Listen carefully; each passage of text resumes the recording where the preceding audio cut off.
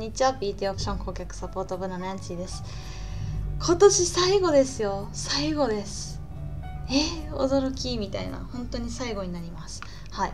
ということで、えっと、今回ですねあのある方がナンシーダイジェスト的なんやろうぜみたいな感じのなんかコメントを頂いてたのであのそれに合わせて今回ははい。あのベスト3のはい、手法今年ベスト3だったものをちょっと提供したいと思います。あのまずはその取引方法とかも説明していきたいんですけどもはいちょっとまずはチャット誰か入ってるかな？確認しようえー、っとあ用意してなかった。忘れてた。しかし日本は寒いんですかね？寒くなってる時期で。ナンシー明日まで営業でえっ、と明日はいちょっと夜からちょっと掃除してですね。はいウィキッドっていうあのなんだあのミュージカルを見に行きます、はい、あ矢置さんどうしたらお友達になりますか？もう参加いただいてる時点でお友達ですよ。仲間です。ライトさんもうすぐ始まりますね。今日は一緒に取引をしてみたいと思います。よろしくお願いいたします。よろしくです。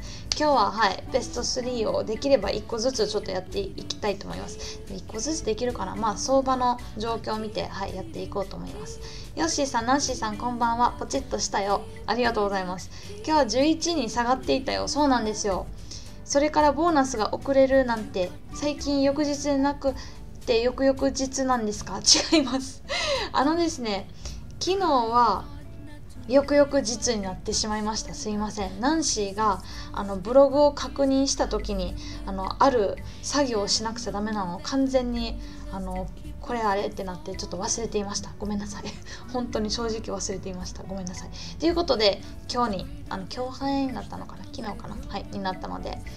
えっと今日の分というのは明日。はい。ちゃんとしっかりキャッシュバック反映されるのでご了承くださいまし。はい、ということでえっとですね、ルーレットさん、こんばんはっていうことで、ニコ生見たよ。ありがとうございます。なぜニコ生は7時半からなの？あのですね、あ遅い方がいいんですかねニコ生なぜ7時半からっていうとナンシーって結構ケチケチしててあの相場張る時は大きいのにあのちょっとケチケチしてて別にあの会社のお金なんですけども あのなんかちょっと安い方を選んでしまいました。はい。なんか19時半とかの放送とかなんか違うんですよここだけの話。ちょっといきずなんですけども。でもあの今日ちょっと上司とはい喋ってあのナンシバンバンもそんな気にせず8時とか8時半とか、はい、みんながしたい時間にしてあげてくれみたいな感じのこと言われてるので、はい、バンバンしようと思うので良い時間帯をいただけたらその時間にしようと思います。はい、さとみさんこんばんはナンシーさんナンシーさんのアドバイス通り通貨ペアを絞って取引をしましたら勝率がアップしました。あ本当ですか？ありがとうございます。でもたまに調子に乗ってポカをしてしまいます。大丈夫です。大丈夫ですじゃないんですけどもあのありがとうございますいやありがたい。はい。あのそんな言っていただき、はい、なんしあのちょっとなんかちょっとお医者さんごっこするの好きなんですよ。こう人の取引を見て誰がいいかなみたいな、はい、それをするのが好きで。そういうのが送られてくることもしばしばあると思います。そうい。うナンシーです。ということであ今日ちょっとペンでこれ止めてるんですぐ取れるかも。まあいいや、まあ、とりあえずちょっと先に進みますね。エミリーさん今日は最初から参加できました。あありがとうございます。ニコ生見たよ。見ましたよ、エミリーさんはい。なかなか厳しいコメントも多いね。ジロ。あのありますね。でも厳しいコメントもなし好きですよ。あの外人パワーがウキウキしてきます。はい。頑張れ。ありがとうございます。また電話します。はい。ということで、以上です。さよならとか言って、いや、まだ始まってないし。はい。いきますね。えー、っと、ではではちょっと参りたいと思います。えっ、ー、ともう,、ん、もう面倒な話はやめようか。みんな見てる方も苦しいし、はい、しかしですね今100%ペイアウトイエイってことであのハイロー取引のみなんですけどもハイロー本当に取引しやすいです。今日説明する手法もなかなか水平線の、うん、ちょっと言っちゃった。はい。の手法をあの何し今日これで勝てたので1万円。2回だけトレードして100%勝率であの100%のあの ペイアウトで結局1万円5000円ずつやって1万円利益になったので皆さんもこれぜひ、はい、やってみてください。ということで明日もします。はい、今日は2016年の12月29 9ということで明日が最後のトレードになるので今日となので明日もペイアウト100%します。明日は何時かわからない。はい。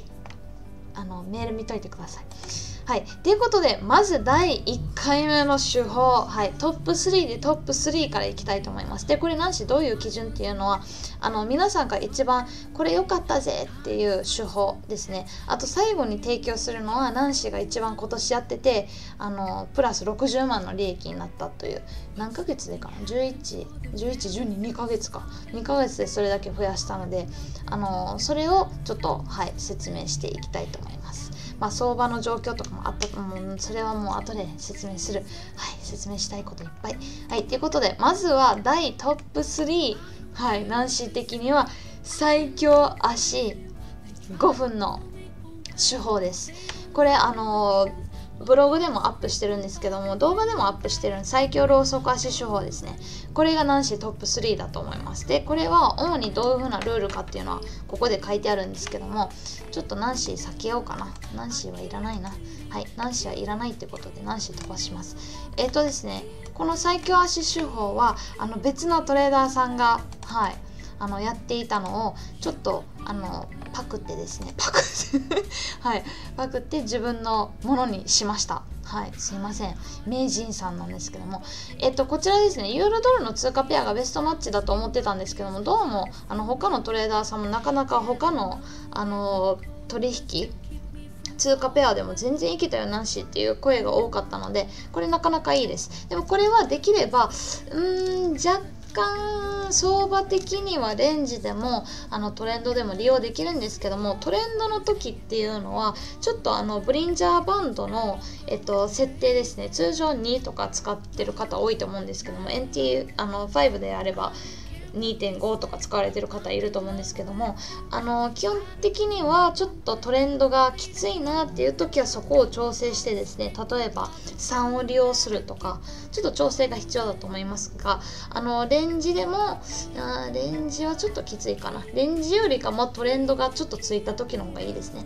で要するにあのこの取引方法はえっと、1番5分足でボリンジャーを表示させるということで5分足を見てください。で次に続けて一緒のローソク足が4つ続いた場合にはタイミングが近いということで4つ続かなくちゃダメです。4×5 で20分だから20分ぐらいですよね。結構長いですだから待つ力がある方はこれぜひいいと思います。で次にボリンジャーバンドをタッチして0秒になった瞬間のみに逆張りに購入するということであの1分1分こうできますよね。足って。でできるんですけどもその足が出来上がる時はいスタートっていう時に購入するのがナンシー的にはベストでした。しかしあの他の方でも別に0秒じゃなくてもうまくいったぜっていう声が結構多かったです。ナンシーは変なこだわりがあるのでそれは無視しても構わないです。で諦め基準っていうのはボリンジャーバンドを抜けてしまった。はい、で平均線基準あ平均線じゃないですね。これ間違いです。水平線基準ですね。水平線を超えた場合ということでそういう時にあのもう諦めるもう購入しないっていう形でしてくださいということではい。以上です。大丈夫ですか？はい、男子のお団子消えました。もうさっきからぐるぐるやってたんですけど、ダメでした。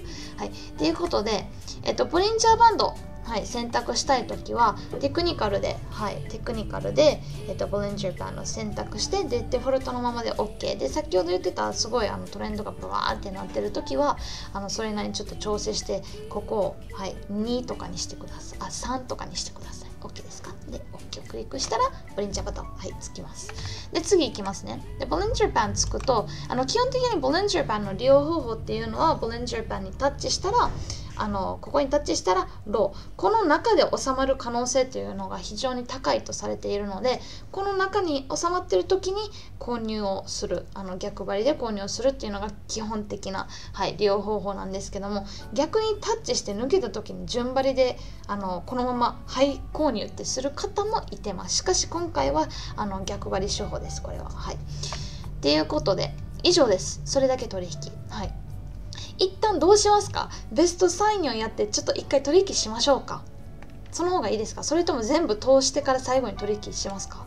あでもリフレッシュしてる間にがいいですね。今から取引します。はい。っていうことでちょっとえっ、ー、とコメント来てるか？はるぼんさんこんばんは。昨日はお電話でのご対,、えっと、ご対応ご丁寧にありがとうございました。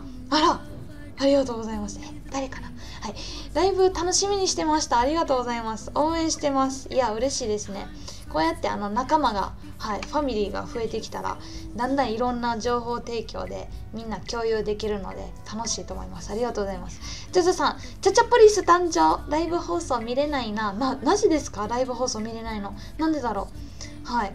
チャチャプリスあのチャチャさんはこれからニコ生で私のプリス役をしてくれる方っていうことを電話で今日あの決まりました。チャズさん今日テレフォンありがとうございました。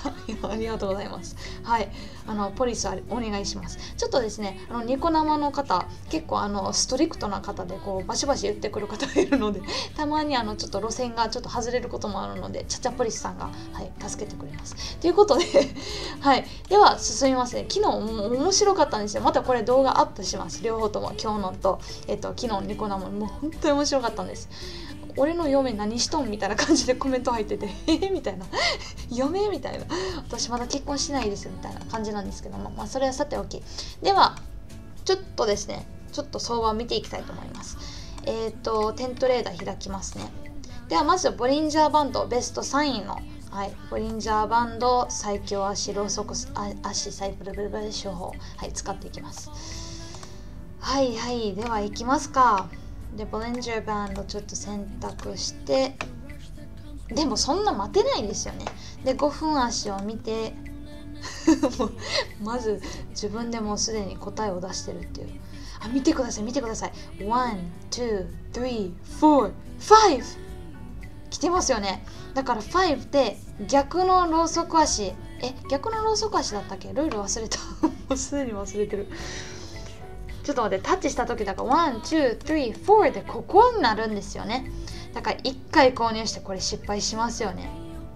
多分。あ失敗しないや。だってローソク足がここで出来上がってる可能性あるのにここで購入した時まあでも失敗かなおそらく。この2回は失敗ですよね。3回目で来てますよね。で諦め基準っていうのが結局はここえっ、とちょっと水平線を引いときますね。水平線何個か引きます。水平線ここも水平線水平線はい水平線ですね。で、えっと、基本的にはこれ123えっと1234で次4本目できて5本目だったんですけどもここ抜けてるので諦め基準になりますよね。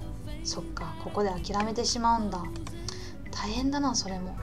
諦めが大変。諦めが大変。ちょっと待ってルール見る。ルール忘れるかな。ナンシーいつもルール忘れるんですよ。ちょっと待ってくださいよ。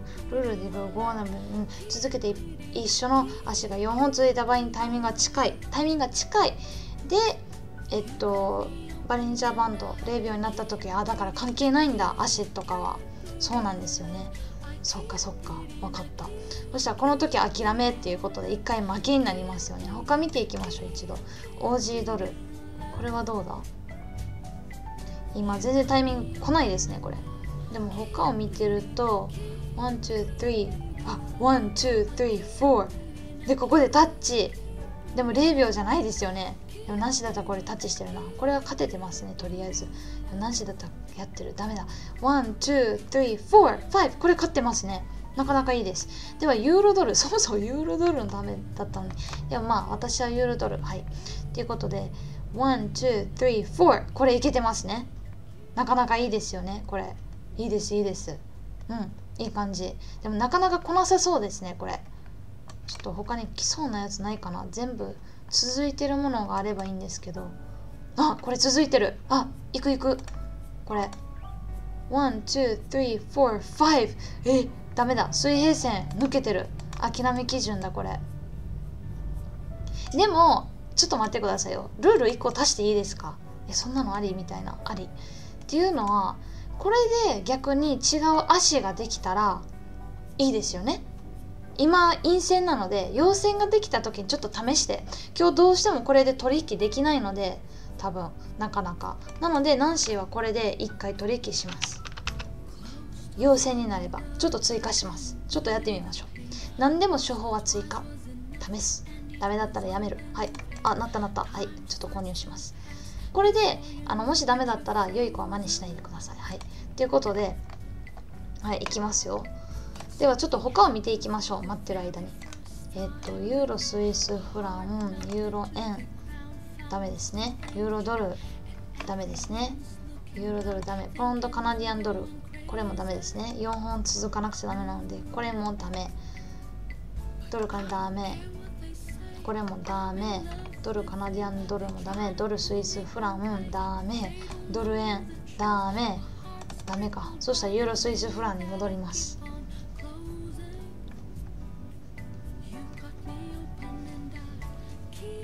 口紅が取れてる。はい。はい。おいい感じですね。うひょ。はい。ぎょ。はい。ということでユーロスイスはちょっと古いかな。ユーロスイスファン勝ちました。利益。なのでこれなかなかいいと思います。では今日はもう1回ずつしかトレードしないので熱くならない限り。はい。ということでこれがユーロはい最強あユーロドルというか最強足手法1つクリアしました。ということでまあちょっと追加したんですけどもルール。はい。では次いきますね。はい。次。ダラーン。ダーン2位は CCI はい。水平線とマーチンゲールと CCI を利用した取引方法。これなかなかあの CCI がすごい人気でしたね。ナンシーこれやっぱりいいわみたいな。YouTube でも結構コメントとか頂いててなかなかはいこれです。5月のナンシー。ちょっと化粧あのだいぶ薄いんですけども。はい。ローソク足 CCI 水衛星マーチンゲールの手法の動画ということで。結果みたいな感じであのアップしたんですけどこれ YouTube でも見れます。また後ほどブログでも記事をアップするんですけどもあの記事っていうか記事ここだよみたいな感じで説明させていただきますがあのこれなかなかコメント良かったです。で基本的にはどういうあれかというとあのここでも説明してるんですけどもはい。あのこれ陽線ですね。陰線ですね。もう簡単にパッパパッといきますね。でこの陰線か陽線が3つ続く。一緒の足が3つ続く。で次にあの4つ目ではい。あの4つ目であのボディがはいちょっと超えた時ですね。ボディが超えた時に逆のローソク足が発生した時にその方向に逆張りで購入するっていうのが一つの手法。これにこれに足して次にこれが来るんですよ。CCI の役目が。はい。ここ見てください。はい。ちょうどこう続いてますよね綺麗に。で陰線から陽線が発生しました。この時にはい購入をします。でこの時に CCI も CCI も基本的に100マイナス100プラス100でマイナス100から上に上がってきてあの超えていくくるとあのハイ購入をする。で逆にプラス100から下に抜けたらあのロー購入をするっていうやり方なんですけどもこれがドンピシャにこう CCI とドンピシャにタイミングが来たらあのここではハイ購入のチャンスここでハイ購入っていうことになります。で水平線はどのようにあの利用するの？ナンシーっていうのはあの基本的にあのマーチンゲールを利用するのであのこの水平線を引いてで1回目例えば、まあ、ここでロー購入しました。でうまいこといかなかった時にもう一度ロー購入をするっていう基準をつけるためにあのマーチンゲールをあの水平線を利用します。マーチンゲールは3回までにとどめるということでルールちゃんと決めてはいやります。これが全てです。なのであの CCI 選択したい方はあのまたテクニカル、はい、選択して CCI コモディティチャンネルインデックスですねであのナンシーみたいにちょっとあの水平線を CCI でも引けるのでプラス100とマイナス100で引いてこう見えやすいようにするっていうのを一つの方法で、はい、ぜひ活用ください。で CCI 選択するとこのように表示が出てくるのでデフォルトのままで OK、はい、だと思います。大丈夫ですか？ここまで。はい。ということで、ではでは、取引に参りたいと思います。C 試合水平線マーチンゲール。ローソク足。ちょっと大変なんですけども。これは本当に1個ずつマスターしてください。1つがクリアできたら次にまた今度進むという形で、はい、ちょっと一旦コメント見ます。つつさん綺麗なナンシーさん見れた。ありがとうございます。綺麗ですか？はい、今日電話した時はすっぴんでした。ライトさん、やっぱり取引についていけない。えー、なんでですか？なんでですか？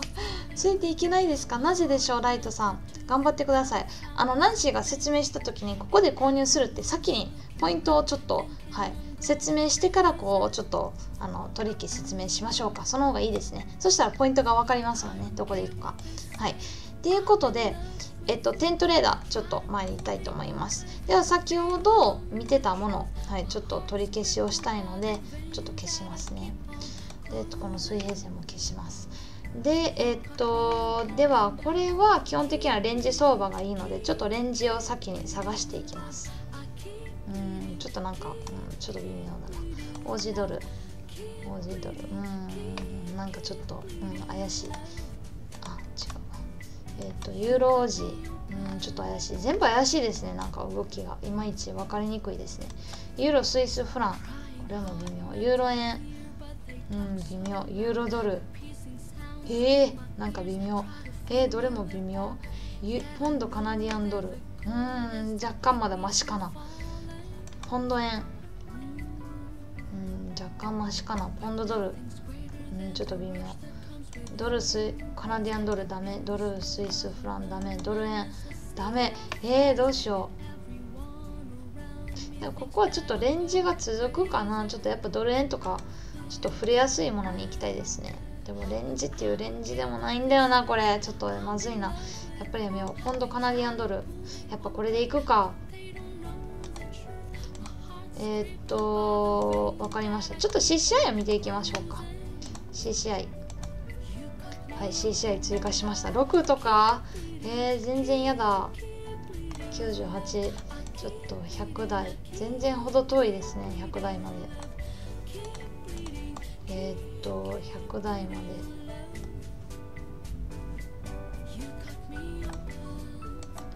うん。ほど遠いですね。ほど遠いです本当に。でローソク足もドンピシャに来なくちゃダメだしこれなかなか参ったな。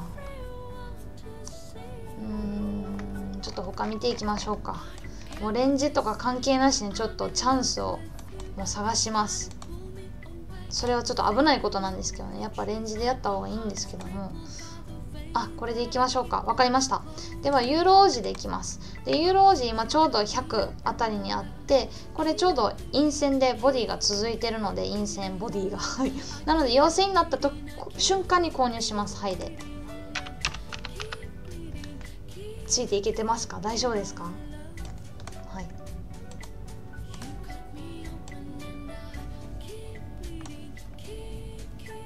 あ今鳴ってましたよね。そっか水平線持ち忘れてた。でも今水平線基準だし今購入します。はい。はい。で一旦水平線ちょっと本当は先に引かなくちゃダメなの忘れてた。これ一つ。今いるのが今一つの水平線ですね。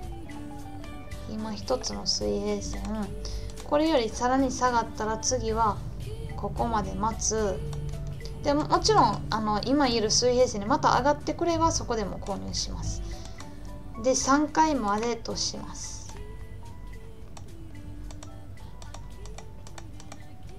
えー、っとあれ？なんか水水平線が妙に妙に聞いてくれない時がありますね。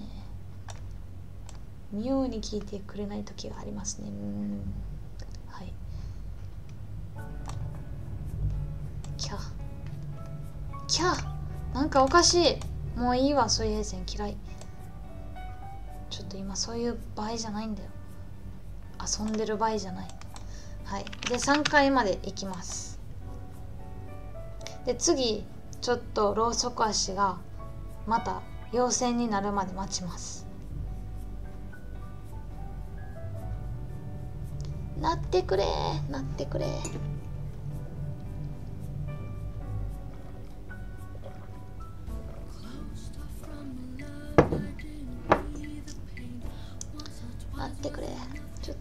でも食べようかなはい。イタリアのはい。あちょっと待って。陽性になってるからもう購入します。水平線基準まで、待てばいいんですけど待てないです。ごめんなさい、はい、ちょっと早いかもしれないんですけど購入します。はい。イタリアのイタリアのチョコ。中お酒です。ちょっとお酒気分今日は。中はチェリーチェリーのリキュールだそうです。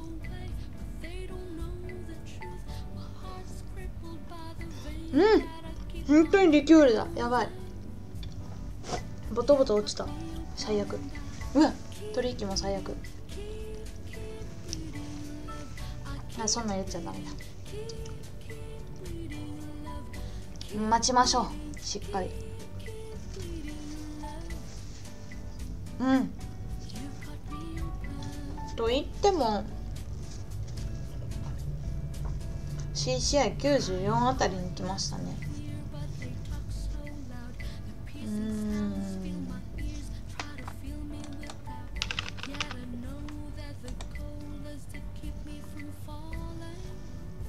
ああそっか。ローソク足がもう。いやでもここまで来たらもう3回目やらなくちゃダメなんですよね。マーチンゲールやるって決めたらルール通り。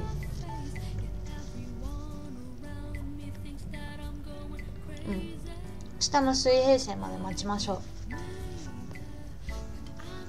うん。美味しい。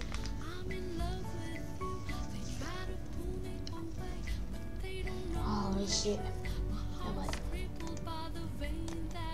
そう。待てない時は隣にお菓子を置いてあげてください。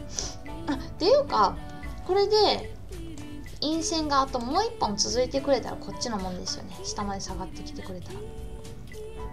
だから慌てない慌てない。トトさん見れなくなりました。私だけでしょうか。え嘘。見れてますか？見れてる方いますか？あらら。なぜでしょう？チャチャさん今日もためになるエンジョイライブ放送ですね。ありがとうございます。エンジョイしていきましょう。カッパさんナンシーさんこんばんは。今から参加です。今年最後ですね。そうなんですよ。ありがとうございます。最後に来ていただき忘年会的な感じで。はい。参加いただきありがとうございます。いやー今年はなんかいろいろでしたね。はい。トレード。はい。あれちょっともう一本陰線できてほしいんだけどなもう一本。できてくれないかな。もう一本だけ。できてくれたらすごい嬉しいんだけどな。っていう独り言をちょっとこう相場に向いて。これでできなかったらこれはちょっとあれですね。なかなか難しいなこ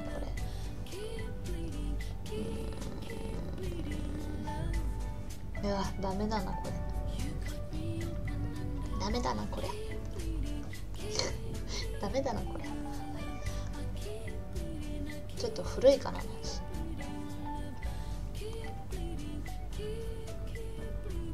ええー、もう CCI ここまで上がってきたもうなかなかこれ購入できないですね。もうダメだ。ごめんなさい。これ諦めていいですか？ちょっと他見ていいですか？もうダメです。ここまで来たらもう3回目もしようと思わない。だって勢いが全然ないんだもん。上に行く。分かりますか？言ってること。しかも CCI も80とかだしまだ下がるよ。もしかしたらここまで。もう微妙な取引はしない。ユーロ王子飛ばしますね。ちょっと他で CCI100 超えるものがなければしかもレンジでそもそもなかったから難しいんですよねこれ。なければちょっと今日はうわマジ。うわこっちの方が良かった。もしや。あでも3本続いてないか。OK ユーロスイスフラン。ダメ。ユーロ円。ダメ。ユーロドル。ダメ。ポンドカナディアンドル。ダメ。ポンド円。ダメ。ポンドドル。ダメ。ドルカナディアンドル。あおははちょっと待って。えいいかな？これ。購入して。あでもレンジでもないしなこれ。でもやっぱり購入する。いい？ちょっといいですか？すいません。ちょっとやっちゃいました。1万円やっちゃいました。N 字でポカンといく可能性もあるんですけども。だってレンジっていうレンジじゃないんだもんな。はい。先ほどのマージンゲール取り戻すために1万円購入しちゃいました。良い子は真似しないでください。でこれえっとまあ CCI 基準。でここローソク足3本続いた陰線が発生した。ここで購入するべきだったんですけども。ちょっと何しタイミング合わなかったんですけども。購入しちゃいました。で次に参りましょう。水平線基準作っていきましょう。本当はレンジがいいんですけどね。うわこれも上がったわ。無理だわこれ。えー、っとレンジ。もうここ高値ですよね完全。でもうだいぶ上がってるしな。こんなん無理だ。ちょっと待って。うん無理があるかな。クッと下げが来たんですけどね。やっぱレンジでしてください。はい。ちゃんちゃんって終われないんですよ。なんしでも3回目購入したのと一緒だしな。やめようかな。でもよくここでタッチしてなんかへばりついてるしな。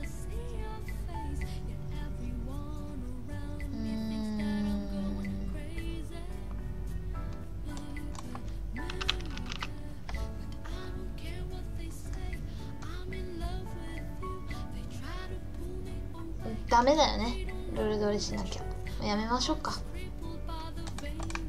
どう思いますか皆さん。ポジポジマスター。ポジポジマスターさん。昨日のニコ生放送面白かった。ありがとうございます。ナンシー指をナイフで切って怪我したって言ってたけどマウスを破壊して指切ったっていうコメント見てツボにはまってたね。そうなんですよ。マウスを破壊して。はいそうなんですよ。こっちだよみたいな感じなんですけども。はい。ちょっと恥ずかしいですね。あでも無理。無理です。ごめんなさい。ナンシー今日忘年会気分でワイワイトレードしたいのでもうとりあえずやりたい放題させていただきます。良い子は真似しないでください。とりあえずレンジ相場でこの C 試合水平線、えっと、ローソク足手法はい。守ってください皆さんは。はい。ナンシーみたいなことはしないでください。はい。でえっとあヨシさん見えているよ。さとみさん見れてます。トトさん私だけみたいですね。時々ぶっつり切れますが後から動画でじっくり見ます。うーんすいません。なんかなんでですかね。なぜでしょうね本当に。気になりますね。ジャズさん突然ですがナンシーさんライブ放送の参加者の皆さん今年もいろいろお世話になりました。来年もよろしくお願いします。チャチャポリスよりポチッとな。ありがとうございます。はい来年もよろしくお願いいたします。皆さんもよろしくです。また来てください。はい。もうこれ諦めます。もう諦めます。やっぱ3回までに無理だったら無理ってことです。はい。では次に1はい。ちょっと説明していきますね。苦いなこれ。はい。ということでえっとはいはい。行きましょう行きましょう。とりあえず何してるの？そんなあの話はまあさておき。はい。えっと次は1位。はい。いきますよ。タランタランタラン。1位はこれはい一番ナンシーが今年儲かったあれなんですけども取引めっちゃ気になる。はい。えー、っとですね一目と平均足を利用した、はい、取引方法です。でこれなぜうまいこと言ったかっていうあの裏のあれもあるんですけどもはい。あのですねまずはちょっと説明させてください。あの11月のえっ、と8もあの選挙ありましたよね。その時にナンシーどうもなんかこう何ですかあのこれトレンド相場だしもう逆張りやめた方がいいなっていう感覚に、はい、入ったんですね。でその時に切り替えたんですよ。もうそれだったら一目でトレンド相場だったらトレンド内にも順張りでいこうっていうことでナンシー順張りはいしたんですよ。はい。そしたらこれうまいこと言ったっていうことであのルールはこれ。変わらず以下。はい、ルールはあれ？なんとかなんとか以下。はい、ちょっと読めないですね。ちょっと待ってくださいよ。なし、実は今2万円取引しちゃって負けた。まあいいや、それはさておき。ああ、ダメだな、メンタル。ああ、メンタル弱い。今年までにさよならバイバイしなくちゃ、これ。えっ、とですね、ルールに行きます。ルールは、1、1時間足で雲で上向きでローソク足が雲の上であればアップトレンド。下向きであれば下下向きでローソク足が雲の下にあればダウントレンドっていうことで、はい、それで一旦こう今どういうところにあるかっていうのを確認します。相場の確認のためにこれいい癖をつけられますのでぜひ見てください。これに合わせてハイかロー基準を決めるということで。で次にはい。それそれ一旦はいちょっと見ましょうか。ちょっとこれ。例えばこれあの1時間で見てるんですけどもカナディアン円だったかな？忘れたけど。えっとこれほら雲がこう下向きですよね。でローソク足あの平均足も雲の下にあるからこれは基本的にダウントレンドっていうことが分かります。はい。ここではちょっとこういう時は狙わないです。はい。でもここでは狙います。はい。っていうことです。OK ですか？で次にえっとちょっとルールに戻ります。1時間足でアップトレンドの場合は1分足で見て平均足に合わせて購入し続ける。それは陰線になればハイしていくあ陽線であればハイしていく感じ。陽線ね。でポジポジにおすすめということでもうポジポジポジみたいな感じで。それが雲の一番上にタッチしたら廃購入をするっていうことであのポジションを取らなくても何回かでいいよっていう時はあの逆にですね先ほどのチャートダウントレンドって確認してで次にこういう雲のところにタッチした時にロー購入をするっていうこういう取引方法です。ここだけであの狙うっていう取引方法ですね。大丈夫ですか？ここまで。はい。うわ今更下がってきた相場はい。ということで 気になってしょうがない。はい。1時間足ではそれ説明しましたね。1時間足がダウントレンドの場合っていうのはその逆なので、まあ、説明いらないかなと思います。はい。ではちょっと参りたいと思います。はい。ちょっと画面変わるんですけども。はい。えっ、ー、とこう。はい。いきますよ。えっ、とちょっと MT4 を見てちょっといろいろおすごいな。えっ、とポンドドル見ると1時間足でまず見ていきます。まあダウントレンドだけどいや今タッチしてる。ちょっとロー行こうかな。ポンドドル。ポンドドル行きましょう。ポンドドル。そう。私さっき2万円思いっきり購入しちゃったんですよ。ダメだなメンタル本当に。3回目まで無理だったら無理って言ったでしょって、うん、まさにその通り。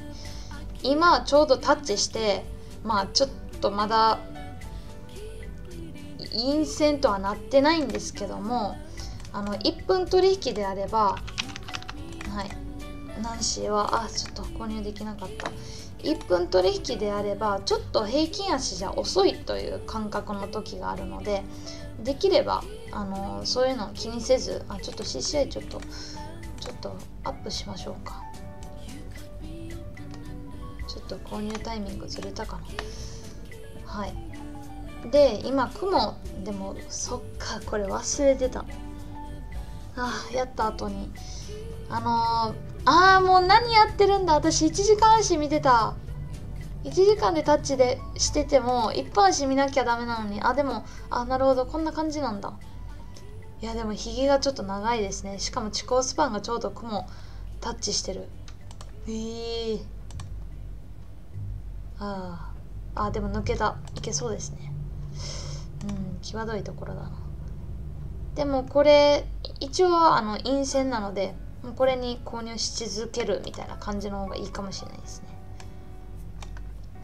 トレンドの時はこの一目とあの平均足の組み合わせってなかなか好きなんですよね。でも転換とか狙うんであればあの平均足見るんじゃなくてあのエントリーポイントっていうのはローソク足で確認してでその後はもう本当に平均足に乗っかるようにもう陰線であれば陰線ながらにローをしていくっていう形がいいと思います。ちょっと待って。ちょっと戻ってきてからしか購入しないです。戻ってきてから購入。うわ戻ってこないな。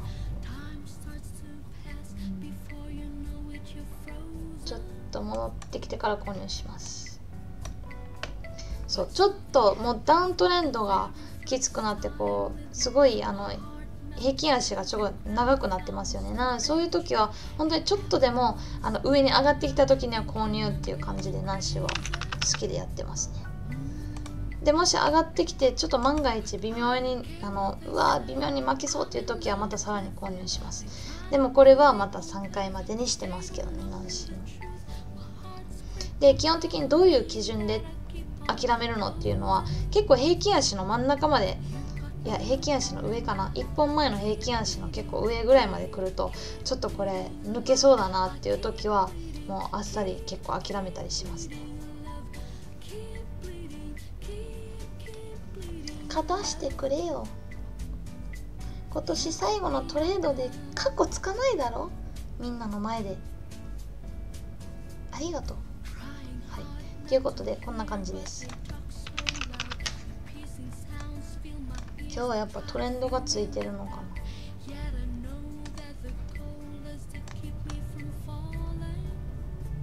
はい。これでも購入ちょっと一旦します。また5000円で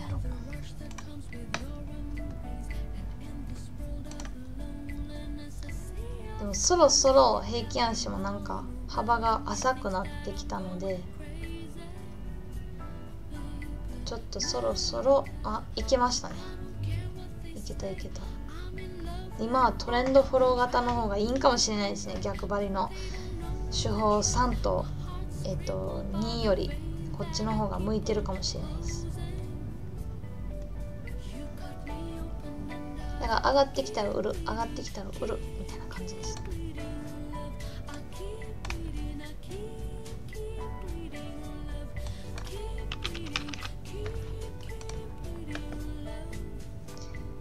ていうか本当に資金をやっちまったな今日。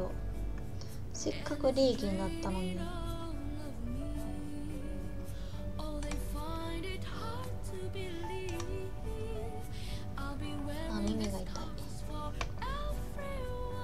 上がってきたら売る。上がってきたら売る。で1回でももう利益にならなかったらちょっとこれストップするかもしれないです。本当に平均足の状況を見て把握するんですけども幅が本当に狭くなってきたらちょっと一旦ストップします。ひろゆさんナンシー最強手法ルール無視マーチン。いろいろさはいそうですね。ルール無視。これはナンシー本当にあの有名なナンシー・ ナイチンゲール。はいその通りです。みつおさん今日は7万円負け。あら熱くなってマーチンで追いかけすぎ。あ私と一緒ですね。自分で決めたルールを守れず撃沈。負けを認めながらエントリーすれば資産は増え。えっと、負けを認めずマーチンで追いかけると資産は減る。何しても気をつけてください。ポチッとな。あーえー、えー、本当ですか。ちょっとあれですね。多分逆張りの方には今日は向いてないと思いますね。あの三尾さんが何だったかちょっと忘れたんですけども逆張りは向いてないですよこれ。トレンドがなんか急についたりレンジだと思ってたトレンドがついたりするのでまだいきそうですかね。ちょっと一旦購入は上がってからにしようかな。上がってからにする。はい。ちょっと上がったのであなんかもう終わったっぽいな。これで負けたらちょっと様子見ます。ちょっとナンシーも今いくら負けてるんだろう。せっかく7万ぐらいいってたはずなんだけど。ちょっと見てみよう。ちょっと見てみよう。ゲゲゲのゲ。ゲゲの鬼太郎。おい鬼太郎。はい。えっとこれはマイナス4万。今でマイナス4万ですね。ゲゲ。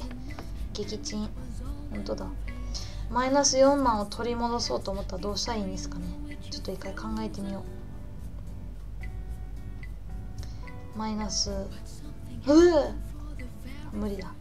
はいやめようでもこれ N 字で一旦戻る可能性もあるしな。あでも陽線ができた。いや。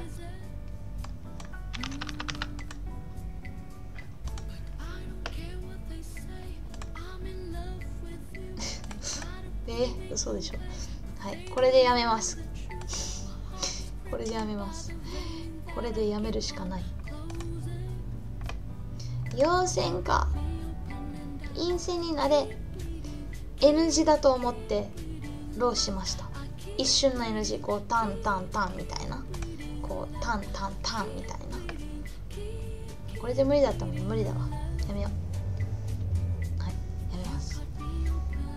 やめるしかない。やめるしかない。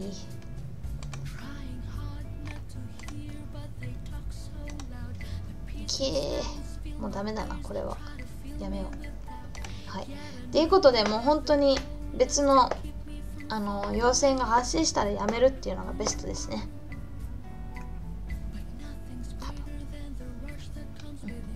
ちょっと他見ていこうかな。でもダメだ。もう今日はやめましょうか。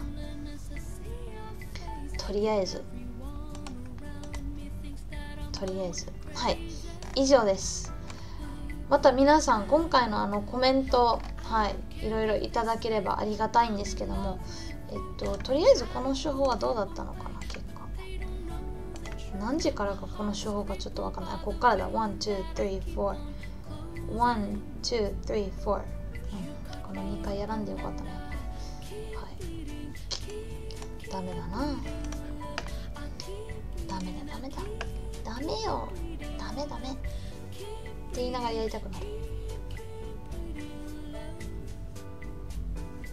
ダメだ。やめよう。はい。やめます。っていうことではい。以上です。また皆さんなんかコメントとかいただければと思うんですけども皆さんあの目標とか何かあれば教えてくださいよ。せっかくなので。来年はこうするぞみたいな。ナンシーに負けないぞとかそういったコメントをいただければ嬉しいです、購入したい。これしたい。これしたい購入したいよ。購入したいけど。まあいいや。はい。ということで以上です。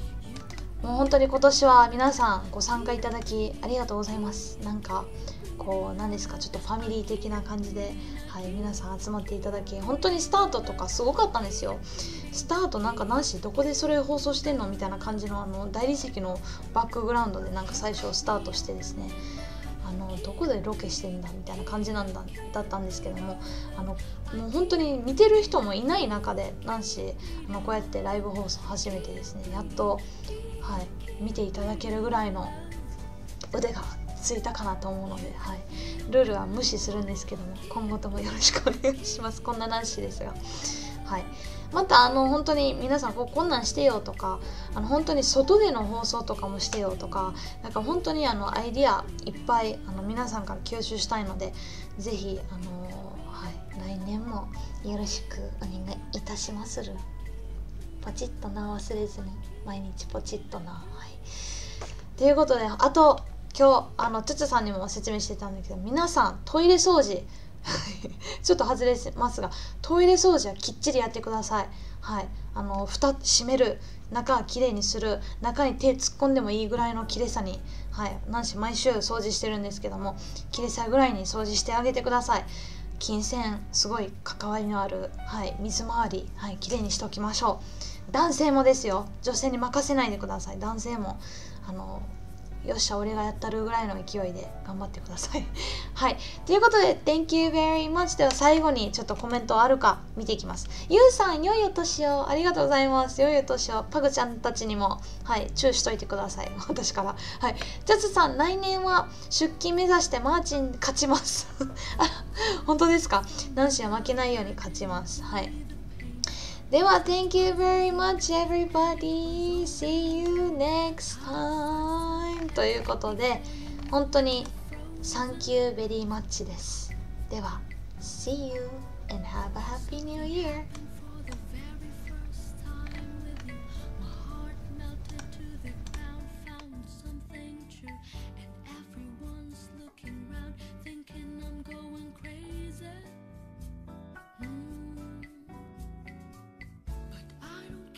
They say I'm in love with you. They try to.